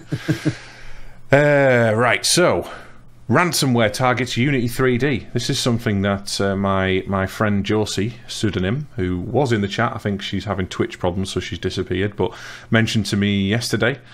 Um, there's some ransomware that's going around at the moment that basically takes your computer for ransom, which we know what ransomware is, but it also targets the Unity platform. So if you're building a game in Unity, it can do it in there. It, I'm going to put a link in chat. It's just for people to be aware of it, to the very least, you know. Um, not much more to say about it than that. Well, I, just to say that the um, the attack vectors appear to be in Explorer and Opera. Uh, yes, I mean I use I use Yeah. Chrome, so I'm So if you use an. Opera, then you deserve everything you get. And if you use an Explorer, then you definitely deserve everything you, You know get. what? I, IE Yeah. isn't too bad these days. I, it I really think isn't. the moral of the story is upgrade your browser and make sure you have like security settings. Be sensible. End of. Like, If don't you- click anything you're not sure of. And if you don't know how to use a computer, don't ask any of us because we're not going to help you. Bugger off. Yeah. yeah. we don't know. Uh, Let's be fair, we don't actually know. No, we don't. We don't Yeah. know anything about computers, and I'm, I- I'm I- happy I- with that. I, I work in tech support in my um, actual job. So Tell everyone that. but- They'll be on your Twitter following you, asking you for but- bloody upgrades to RAM and. But I won't help anyone. So there we go. I, I, eight hours a day, I deal with helping people. That's not what I want to do when I get home. So yeah, No, no. I said every time I go and see my parents individually, my parents Yeah. are divorced, so they're in different houses. Every time I go and see them, I spend a couple of hours seeing them or whatever. Every second of the time that I'm there, I'm I'm helping them. Who's that? Who was that? Bloody rave music going on. um, yeah, I- I'm, I spend all the time helping helping them fix their computer issues. yeah, Uh, right. Um, all Steam users must now disclose paid recommendations. Now, this, what's this? happened a while back with curators. If curators are get, being given, it, and this happened with YouTube as well, I think. There was a big hoo ha Yeah. about it a while back, and in fact, it's kind of part of the Gamergate thing ish. Kind of, it's kind of kind of all kind of jammed into one big ugly mess. But um, now, if you are a normal Steam user, such as any of us, you have to declare that a part of their terms and conditions you have to declare that you have been paid or you are uh, receiving some kind of gain monetary or otherwise for recommending something and that's a thumbs up or that's a comment or anything like that i know that's foreign to us because none of us do it for Yeah. monetary gain i don't actually use the steam community that much myself um, but it's uh, just thought it, it was interesting to to mention again i'm going to paste that into chat for everybody I don't think it's too too bad. I think it's sensible. Yeah. That I have to be honest yeah. with you. It's a it's a solid idea. I think it's like kind of more more clarity on that is uh, a big deal because I think a lot of the time, and I think it's it's a big deal for your average Joe that wants to kind of go and buy something, as much as it's a big deal for the person sending out the message. Like your reputation could be broken on saying this game's absolutely great, and it's a heap of. To, if that you know, if the people telling you to you know paying you however much to say it was great, if you didn't disclose that, people would think he honestly thinks this is good. Like, like I'm not going on any more of his recommendations, and mean, that's that. I have to be honest with you. I, th- I don't think many curators would do that anyway. Would I Yeah. mean not not Yeah, the no. respected ones, you know? Yeah, no, but I think there's a you know a lot of the the more I don't know like the the less high profile users may just take it. You know, when you're trying to get yourself out there, you take every opportunity you can. And I think it's also maybe their their kind of. Um, you, you must have seen some of these posts that are going around at the moment that are about app store ratings, and that there's people in certain countries where they'll they'll sit there with hundreds of phones and they'll just click recommendations, they'll upvote Yeah. things, and and you can pay for that kind of stuff. So, I mean, I get I get ten emails a day for that kind of thing, you know. I'm not saying I follow any of them, but you know, it's it's, Yeah. it's I mean, it's horrific that that happens. I think this is a move, in my eyes at least, anyway, it's a move towards a fairer community and a fairer rating system. I'm not Yeah. saying that it's particularly prevalent on Steam, but I think, and, and I, I think that the users generally pick up on these things, and they're a fairly informed user base on Steam. But I'm not saying everyone's the same, you know.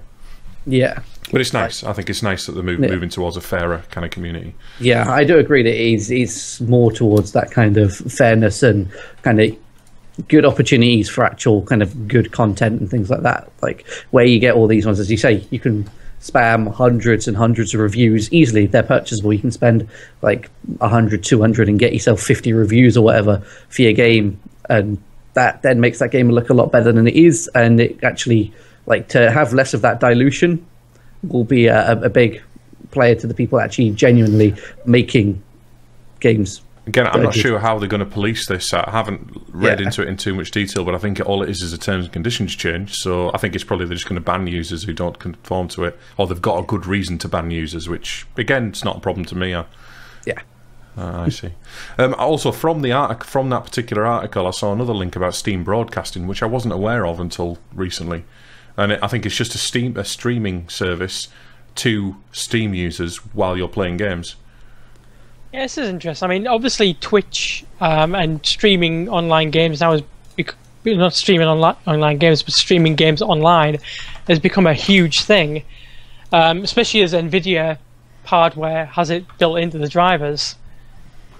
Um, I'm not so sure this is n- even necessary. Uh, well, again, it's Steam trying to get well, Valve specifically trying to get in on on the modern trends, isn't it? I mean, look, they, bring out Steambox, they bring out a VR thing. They're they're, they're a big technology company now these days, gaming comp- company, and they're always going to try and compete. I guess. I mean, I suppose the, the technology for this is already there because it does the home stream and stuff. So it's not much of a stretch of the imagination to move this into doing it online. I guess. But how much? I think it, I it's not a, a streaming website or anything like that. I'm not sure if No, it's. it's, it's just streaming to services. I think. I imagine. I'm not sure if it's a, again. I haven't read the article in any detail, but I, I think it may just be streaming to your friends or stream. But again, it's some. It's a new feature that Steam's got, and I like the home streaming option. I like. I like Yeah. the fact that I can play games downstairs on my lap, on my laptop or whatever. Um, but this is a bit different. I, I personally don't have a use for it because I've already invested in stream in Twitch, already invested in Hotbox to an extent. You know, it's happy with what I'm doing as it is as it stands. But it could be. I don't know. Maybe less of a less of a strain on your system. It's something I might investigate and have a look at Yeah, to see. I, I'm, I'm sure it'll be more of a strain on the system than the, the hardware things like Shadowplay. and, Uh, Maybe, but it might latch into that. You Maybe. don't know. You don't know. All the streaming uh, software, XSplit, OBS, etc., that all latches into it. So I guess so. oh well. okay. Nintendo are finally. Ma- I'm glad Steve's here because I've got a fellow Nintendo friend uh, fan. Um, Bored already. Up. Uh, Nintendo have. I, I, this is something that it's, it's not really relevant to us, but it's big news at the moment, in uh, especially in the uh, Eastern culture. Is that the word? Jap- Japan and all that. It's Eastern, isn't it? Yeah. What we call is, it. yeah. Um, uh, so yeah, On a Western Nintendo are map. f- they're forming a partnership with uh, DeNA, which is D E N A. They're a huge mobile communications company, and they are finally releasing some of their IP. Not releasing, but I think they're still in control. But they're, They're they're- licensing it, yeah, aren't licensing their their IP rights to allow for some mobile content, mobile games, things like that.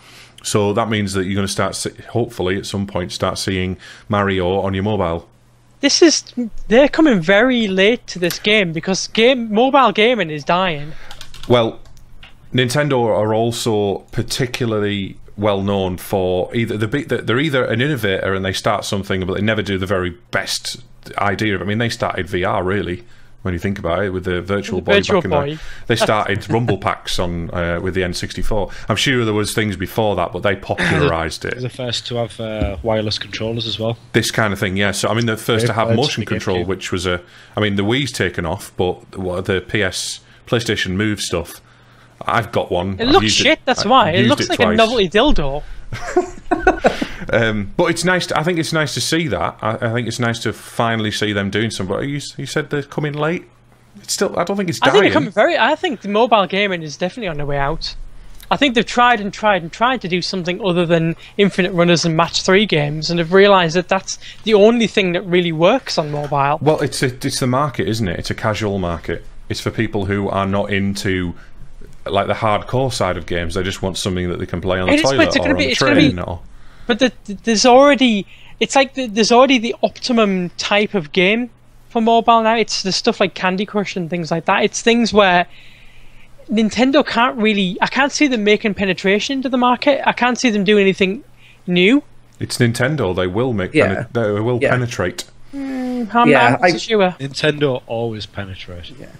Remember how big Nintendo are, though. Uh, you, you, we forget because we in, in the in the in the West that's not they're not as big as the Sonys of the world and the uh, you know the Microsofts etc. In, in terms of like a hardcore gaming market, but in terms of the casual family, you know, easier to get into kind of games, they're huge across the world. Yeah. They are massive. They outsell PS4 and, and Xbox wi- every, and every time. I mean, every, every time I look at a stat, Nintendo are up here. You know, they've they're ridiculous. They sell ten times more what than the other Yeah. consoles combined. I think a really kind of. I don't think they're coming in too late. I almost think that the only reason they'd be coming in too late is because they would have been perfect to almost start this. Um, because you got to think about it. Their their games are a lot more kind of well, they're they're I say family friendly, but that's not really the right term. But like you got games like even if they release like the classic Zeldas and things, people love those games and they're easy to get into, and they're not like you know you, you can pay fifteen quid for Final Fantasy or something, but that's a, a huge huge game. Like it's not something that people are going to be more drawn to. You have to have already liked Final Fantasy, I'd say, in order to get into that. Like you wouldn't get into it on mobile. Whereas I think with stuff like with Zelda and that, I think it's compelling enough to keep people going. I think if they release a lot Well, their classics. There won't though. That I thought uh, Mythaloin chat. He tends to be fairly knowledgeable about these things. He, I think he reads he re- reads games news sites for a living. Um, All he, he just said that they're, they're, they're, he's, they're not releasing old con- uh, old content. They're only releasing new content, which doesn't mean new titles, new Zelda Yeah. and Mario titles won't come out on it. It could be very specific mobile content. It could be Yeah, It could I be, just yeah. allowing their IP to be used in apps. You know, for all if we you know. look at the videos that are going around on YouTube, uh, a lot of the games tend to be kind of like puzzle-based ones, completely new games, but just with the Nintendo IP slapped all over them. Hmm. Which What you've got to remember as well is that Nintendo were the ones to start off the mobile gaming in the first place. Game Boy. Game Boy. Yeah.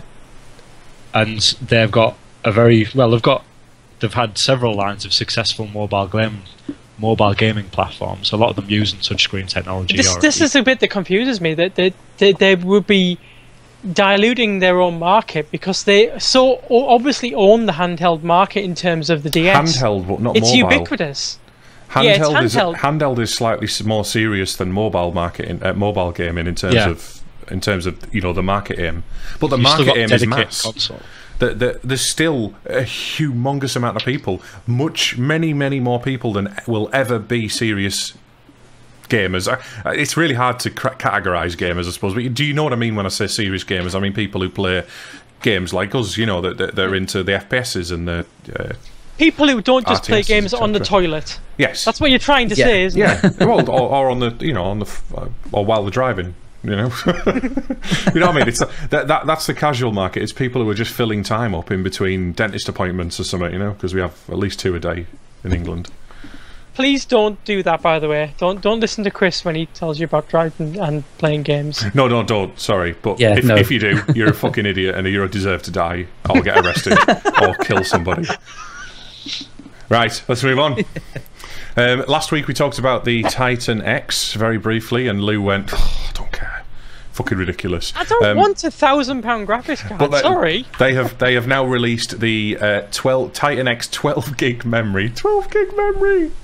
Um, the price and specs. It is around a thousand dollars. Uh, the specs Is it are 12 gigs of actual memory, or is it like one gig of memory and Go- 11 gigs of like Go into it. 1970s flash Special. memory?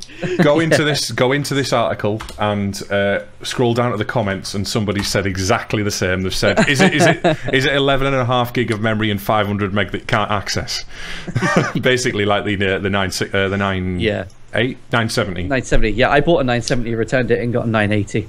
yeah Lew's, Like, Lew's still like, got his I've got a 970 970, yeah, but he's I not don't tried 4K, yet um, but anyway, this basically this Titan X 12 gig is for people who are running f- uh, f- 4K, 6K rigs. Some you know, some that's atrocious. Yeah. It's for Or people like say- me who, who, I don't run. That I will never run 4K. Probably, I probably can't be asked, but I'll get it because I'm like, oh, but I'm a game dev and I could use 12 gig of RAM, and I can't. But I think I can. Yeah, I think the, the, the main kind of people they're attracting are definitely the 4K users, definitely the kind of multi-screen kind of. You know, if you've even if you're on, you know, like a, it's like two and a half K or whatever people are calling it these days, like like surround setups for that are still quite expensive to come across if you don't want to have multiple cards in your rig um, and also VR on kind of high-end games like Project Cars which is never going to come out because it constantly it's going to be delayed until all the developers eventually die of old age um, It's but still a beautiful experience to sit in your car, not motionless when it's raining on the car. That's a really brilliant VR experience. You know what? You know Yeah. what? This this just brings me back to one of my original points on VR. I, I think I would buy it when the resolution's right, when it doesn't look Yeah. like when it doesn't look like a computer screen, yeah when it looks like I'm in the world. That's immersion. Yeah, it's like, and I think that's kind of what this Titan X is also kind of geared towards. Is saying, look, to run these, you're going to need something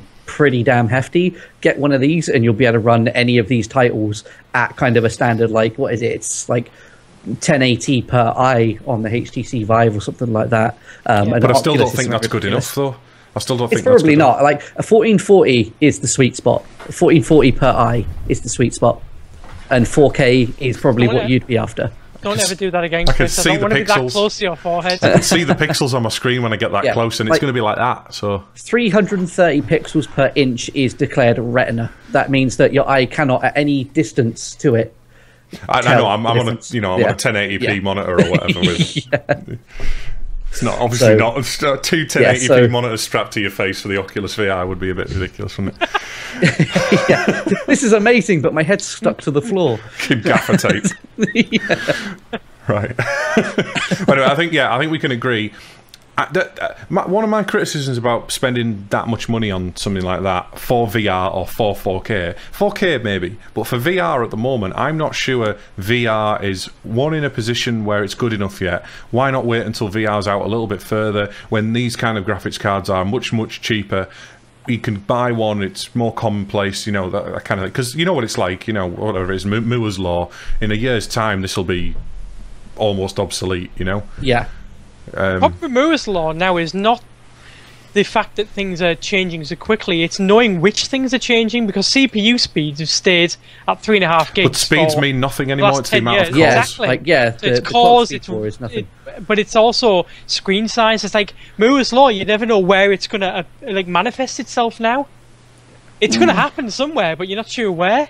Yeah, I mean, at the moment, the talk, the, the, it's all, all the talk is around uh, lowering the, the size of the architecture in nanometers, isn't it? I think there are 18 Yeah. nanometers or something. What No, I heard was that they were reaching, reaching the kind of limits of what silicon can do, and Yeah, even with well, gallium and that's- stuff like that. That's Intel have said that they're when it gets down to 10 nanometers, um, they're not going to use silicon anymore. They will find they're researching another way of making the chip that's going to be smaller than that. Like 10 is the the smallest that you can realistically make silicon. Yeah, you run into weird quantum effects, don't you, at that sort of Yeah. size? When they're talking about using graphene, I thought it was gallium they were exploring, but I'm sure I read an article along. about using graphene because of its uh, ability to transport an electron down the branch without any loss of energy.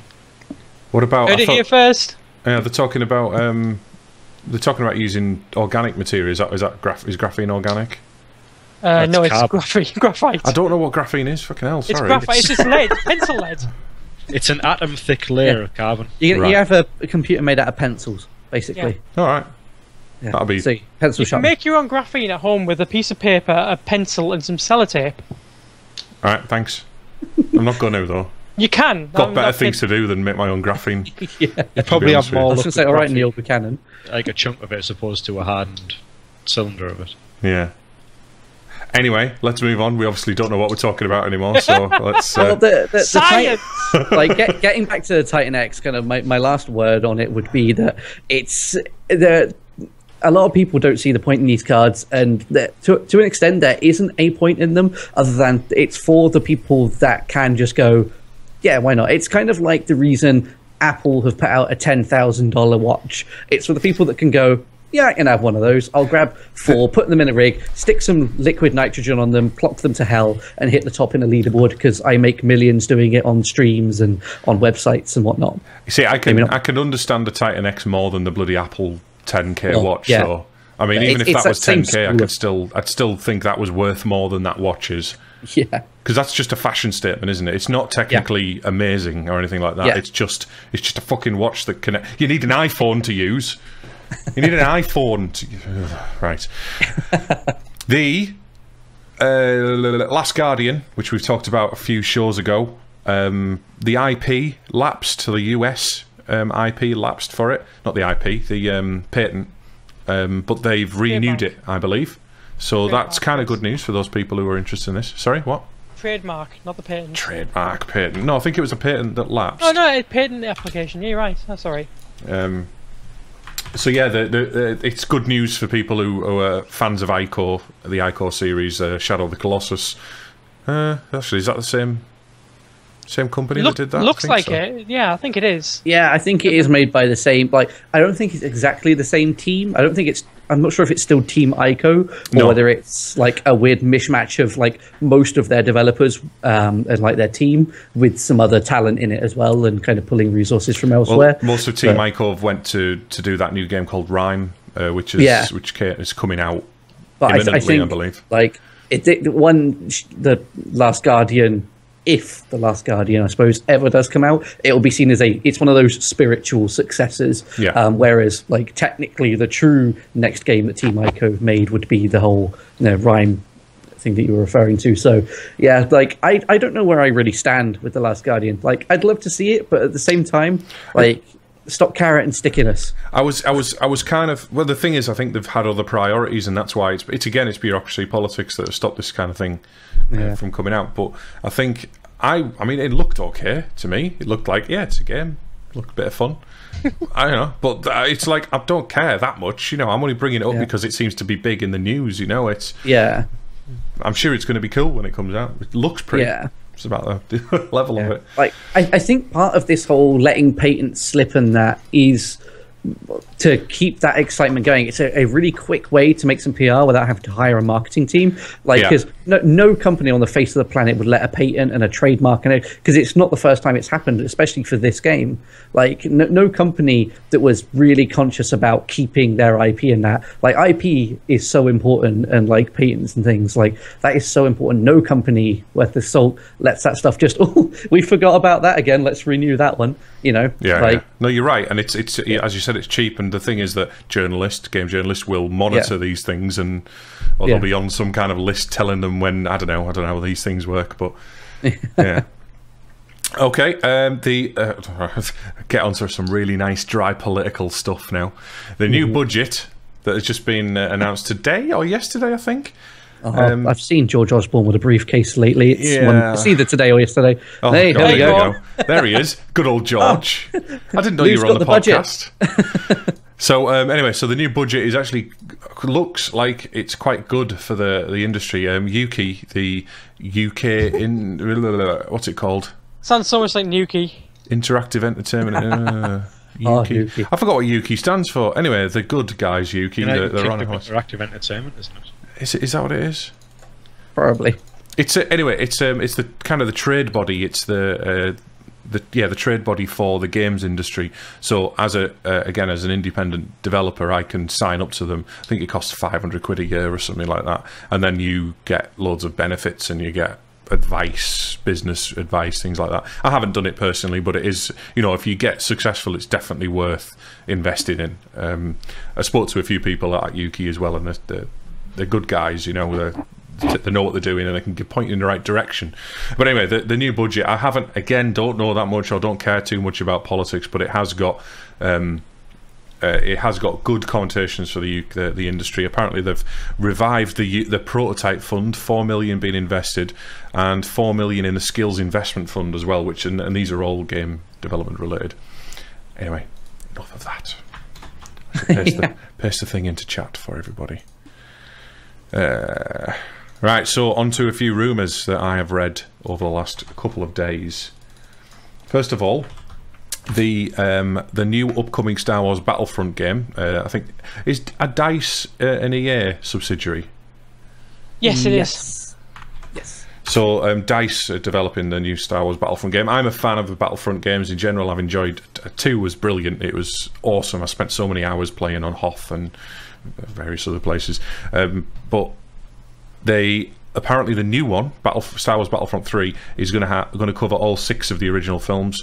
Which two kind of did. It covered it covered a few of them, but I think two came out when Episode One was released, roughly around that time. Because there was definitely some scenes from Episode One in there. I can't remember the name of the bloody. Call myself a Star Wars fan.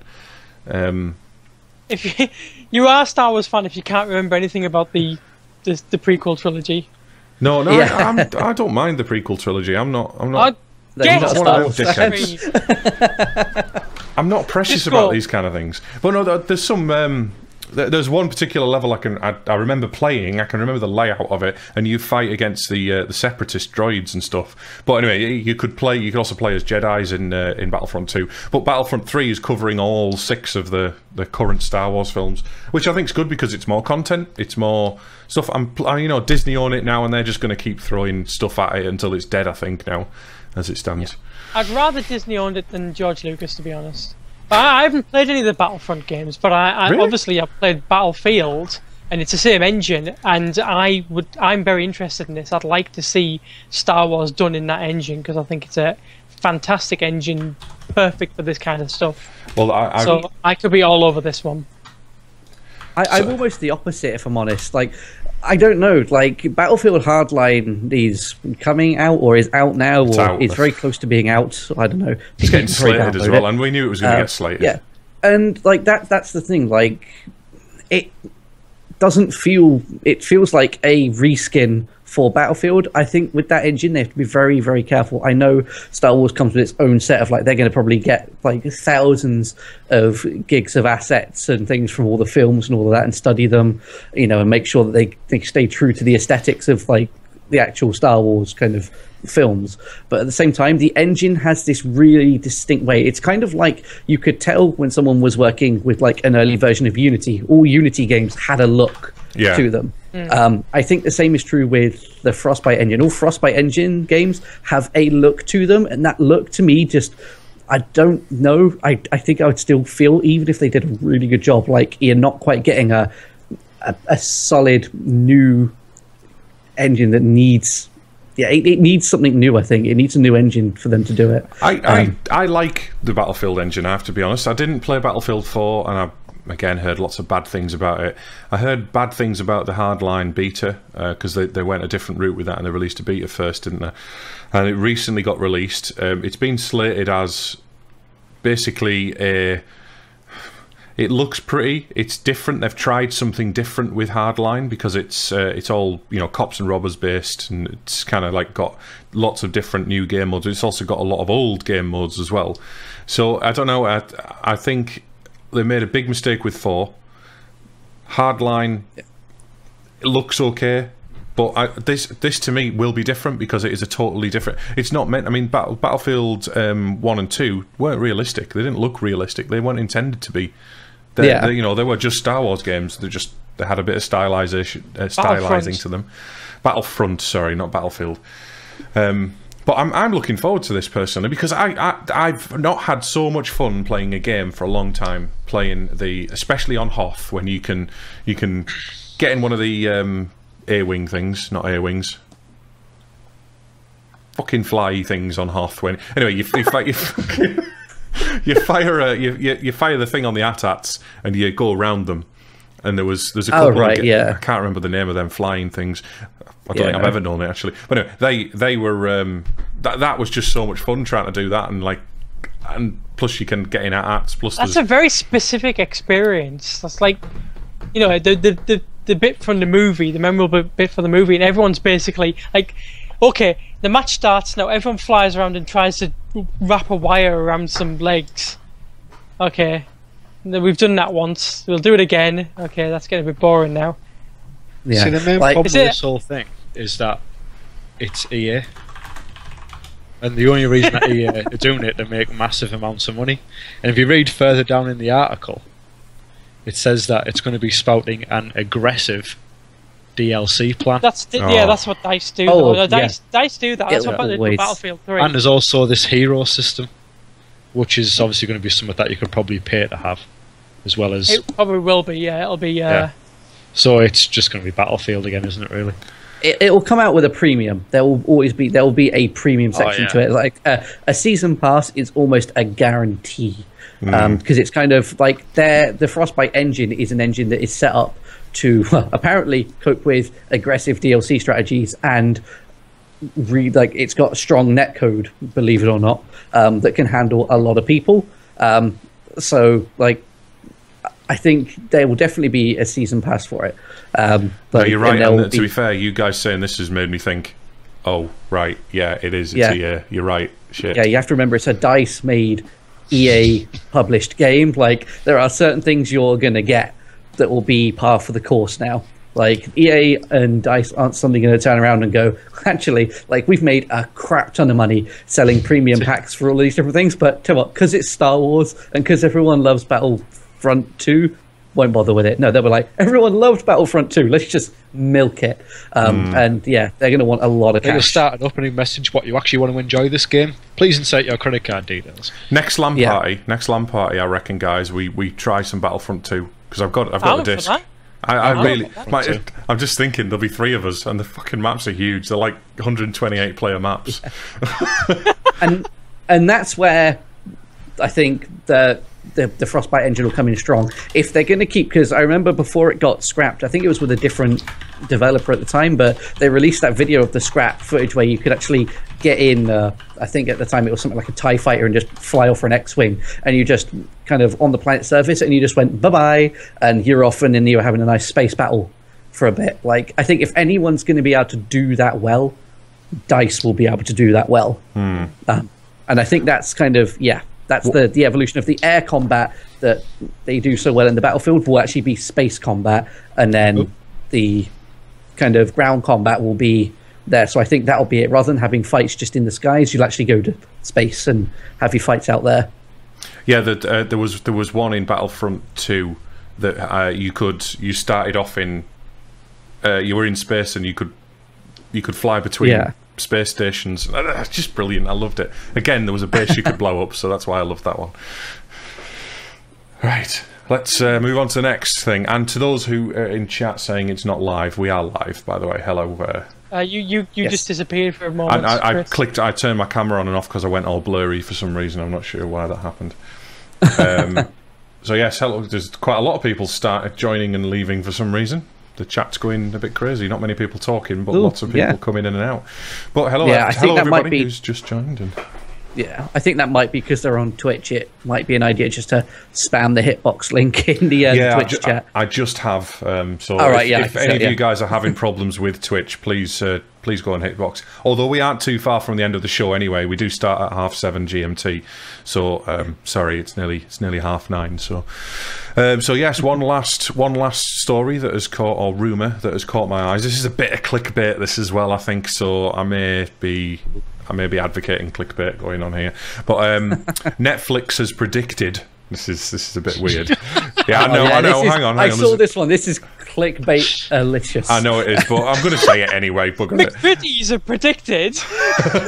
Right, no, no, I don't know why. I, I, I, you know what? I'm not even going to bother. I'm not even going to bother. You're No. right. It's a lot of shit. no, Let's Netflix. the Netflix. possibility of it. Yeah, Netflix. This is a rumor, of course. It's it's clickbait. Um, uh, Netflix has predicted that the uh, PS4 and Xbox Ones are going to get 4K releases by the end of this year. They reckon. Nope. Well, I'm Um, still waiting to hear from Clark Shoes before I make any decision on that. They can bet. Sorry. They can, they can barely, they can barely, as it stands, sustain 60 frames a second at 1080p. So fuck off Yeah. with your 4K releases. to, to do that, they would not only have like I can understand maybe a, a bid to make the slim versions, and maybe they could add a 4K output. But actually, t- to make a 4K running system, like well, the, Nvidia have just released a, a thousand dollar graphics card in hope that people will be able to play 4K. So unless you want like a good thousand dollar you know console, if not a bit more to when you pay for the rest of the components, Hmm. and the fact that they're trying to build it, yeah, good good luck. Like Yeah. no, This is another Apple iWatch thing, isn't it? Where, yeah. Well, like, sensibly, any person who would go out and buy a 4K Xbox One is the type of person who doesn't know what a 4K Xbox One would actually do. yeah. Yeah, it so wouldn't, plug it it into his 4K anything. TV that he can't, hasn't actually got any 4K source I- material to watch on. The graphics cards that are on them aren't capable of 4K. Uh, mean, Yeah, and if they upgraded 1080p. it, if they upgraded it, it's not an Xbox One anymore. It's an Xbox One version two, isn't it? It's or an Xbox Two.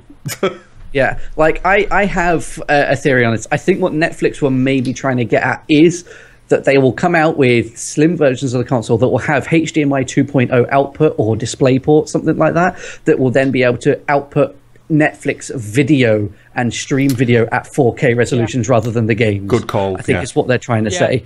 That- but yeah, it's obviously clickbait to try and make people go, "Oh, my Xbox has got more powerful." No, it I'll be didn't. honest with you, it worked with me because I, mean, I actually you know what I didn't. I didn't because I read it in a magazine. I read it uh, uh, as a rumor in a magazine, and then I went to find a link for it to show in chat. So I haven't even read the article. I to be honest with you. Yeah, Would I saw the link and went, redundant nope. anyway because don't all Ultra HD TVs, well, are, are they already smart TVs?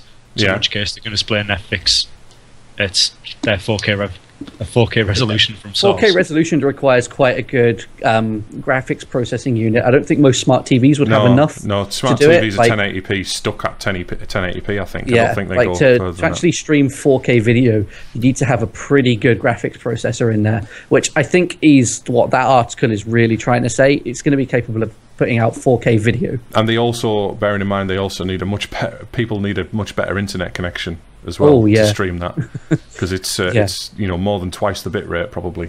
Yeah. Pro tip: anyone who thinks they can put, output 4K video, go onto something like the Linus Tech Tips channel, play one of their videos at full screen at 4K, and watch your internet burn like it's back in 2002. you know, like it's yeah. Like I've got a pretty hefty internet package, and mine still takes like it, it buffered a couple of times trying to get a 4K video out. Well, and next week's Resonance Arcade will be brought to you in 4K. Um, 8K. in 8K. 8K. Anyway, so yes, that's it. That's all the news that I have this week. Has anybody else got anything that they've not put, you know, not put down that they uh, might interest, be Uh, interested in? Something that caught my eye, um, kind of gaming news, but um, there's a, a new movie uh, called Pixel. Oh, it's gone. a Uh, movie called Pixel. Yeah. it's basically a, a movie, a movie about um, about computer game characters attacking the real world. and I've forgotten the name of it now. it's called Pixel. Pixel. Like, I think there might be a subtitle, but Pixels. the, it, yeah, Pixels, yeah. yes. uh, I've never heard about it. It's got uh, Adam Sandler and Peter Dinklage in it. Yeah, Peter Um, Dinklage making a, a Nicolas Cage decision to uh, show up in all of the bad films as well as all of the good stuff. Um, and Yeah. yeah, Adam Sandler. God, It just popped, just popped up, and I've never heard of it. I would have thought I'd seen something about it, but yeah, I, I, I think it's only just been put out in the wild, isn't it? Like they've only really just announced it, kind of. Um, and yeah, no, possibly. I feel like as a gamer, I should have known about this earlier. Like I knew about um, Wreck It Ralph and things, but just popped out of nowhere. I only knew about Wreck It Ralph because I, I went to the cinema to watch Batman Summit, some of the Batman film, and it happened to be advertised at the same time. I hadn't heard about it in my gaming circles. And I seem to have gotten very, very blurry for some reason. Hello.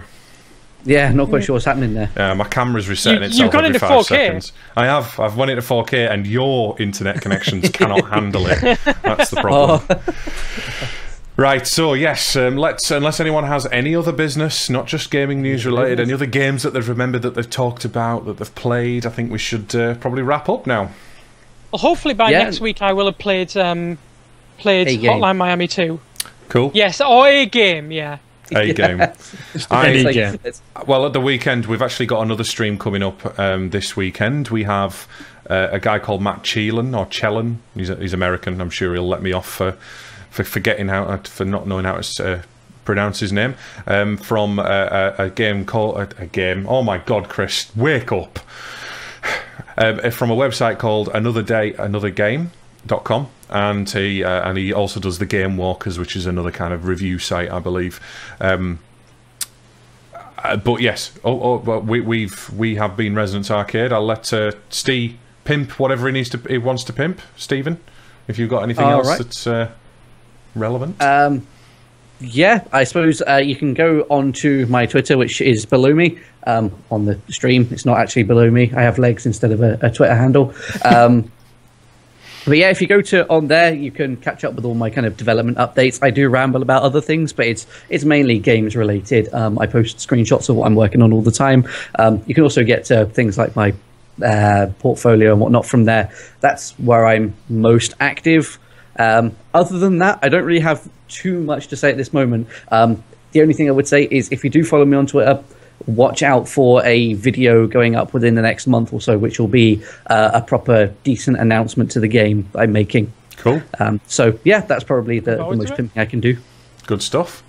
Well, um, sorry for the technical issues we're having with uh, with Twitch today, and sorry for the blurry cameras and stuff. But for some reason, that I, I would highly recommend not recommend getting a Logitech 930e because it breaks every five bloody seconds. I think Steve's got one as well, and he has similar issues with it.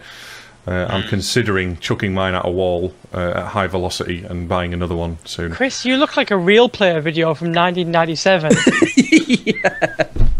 It's amazing. I've watched porn at that resolution. Badday.mp4.